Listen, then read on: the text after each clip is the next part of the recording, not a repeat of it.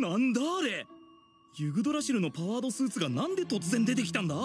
まさかプレイヤーか？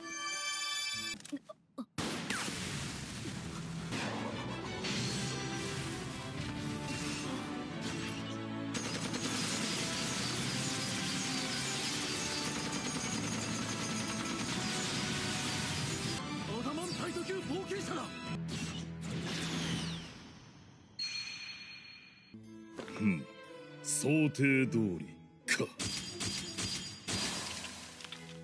あいつって何者なの？王国に3チームいる。アダマンタイト級冒険者のうちの一つ。明けの雫よ。そこに至る全ての都市を陥落させるのだ。ナザリックに従属しない愚かさを教えてやれ